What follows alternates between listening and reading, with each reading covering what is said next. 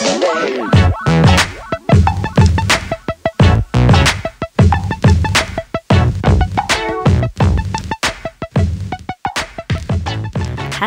book breakers! Thanks for taking a break to think about books. Today, we're in Stoke Newington to find out about literary festivals. Stoke Newington is a beautiful little area of London, famous since the 17th century for attracting radicals and free thinkers, including bookish heroes and heroines like Daniel Defoe and Mary Wollstonecraft. Directly inspired by the Mavericks and rabble rousers, in 2010, Liz and her husband Pete decided to bring books and Bedlam together and begin Stoke Newington Literary Festival.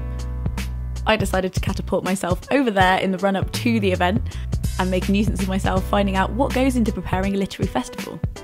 So I've been running it since 2010. Um, it feels like five minutes ago, it feels like about 500 years ago. So I was going around literary festivals with my husband, the author uh, Pete Brown. His books are available in all good bookshops.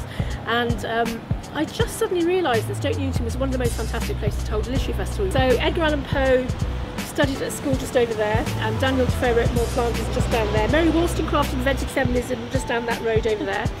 Um, so it's a perfect place to celebrate great ideas and great books. Um, and so once I had the idea, it wouldn't go away. And it was one of the, I've had lots of ideas all the way through my life. Um, you know, setting up a nice shop, selling nice things, all that kind of stuff that we all dream about.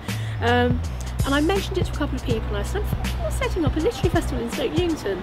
And I sort of hoped that someone would say, I'm not sure that's a great idea. And every single person I spoke to said, what a fantastic idea. So I realised I had to do it. Um, so that was seven years ago. The Stoke Newington Literary Festival offices are above the historic library in Stoke Newington.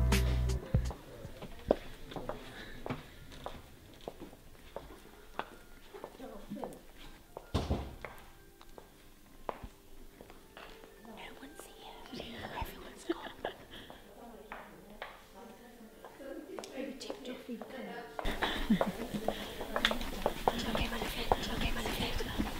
I had no idea there were so many genres of Mills, Mills and Boon. I don't that one is intrigue, also intrigue, medical romance, her family for keeps, unlocking her surgeon's heart, taming her navy dog, daring to date her ex. Also medical romance. Then we've got Regency. Um, lesson to learn. It's brilliant. I love it. I love it. Nobody who calls us the Litfest idiots. They share the building with lots of books, lots of people who like to read books, and even some artists, a few of whom have put together this literary telephone.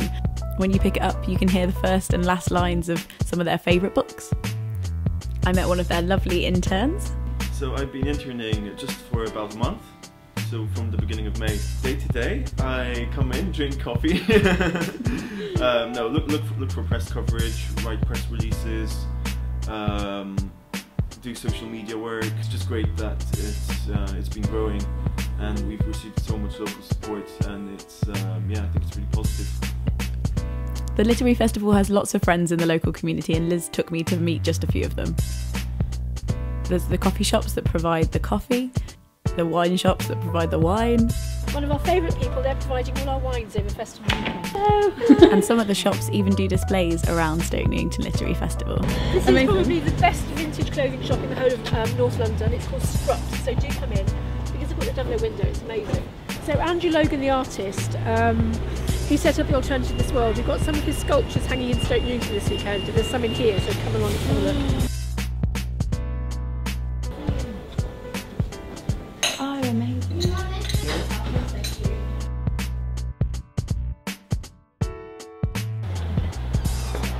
Kate's boyfriend is doing a honey event. amazing! As part of the festival? Yes. That's really cool. We met um, when he, well, we wanted to stock some more food products in the shop, and so I looked up some honey in London and came across his brand and dropped them an email, and then um, we ordered some from them, and then And now what's happening? we're engaged. I was actually scared to go to literary festivals when I went with my husband to his first couple because I just didn't know what to expect. And I thought it would just be full of people very earnestly discussing really serious literature, and it wasn't. Um, but this festival in particular was set up to make sure that whether you just like football or you just like cooking or you love music, there's a way into great books about all those subjects. So we've got an event for tree um, for those people who just like trees and not reading. Uh, we've got lots of stuff about music. If you're a grime fan, I know it's hard to believe, but if you're a grime fan, we've got a fantastic event just over there about the history of punk in Hackney and how it's kind of mutated into grime in the East End. Um, so that's why I set it up really, was to make things a lot more accessible a lot more fun. Because um, I worked in advertising for years and years and years, and I'd say to people, what sort of books are you reading at the moment? And people would say, oh, I don't really read books. And that astonished me. So this is my mission to make people put down their mobile phones and pick up a great book.